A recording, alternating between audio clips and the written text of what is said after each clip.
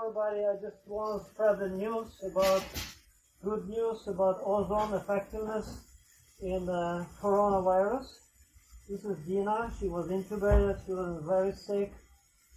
Four days, uh, four days after intubation, she was extubated. She was off of pressors. She's doing very well. I greatly appreciate support from my team from the hospital, Dr.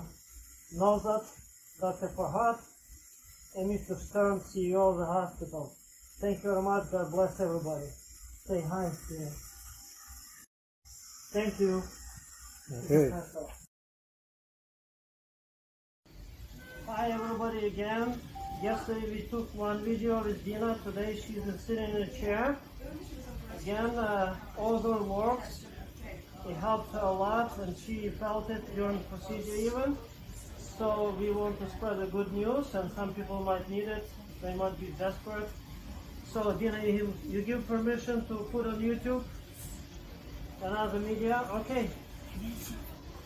And again, thank you for our team, uh, Dr. Farhat, Dr. Nozat, Mr. Stern for the support. Thank you.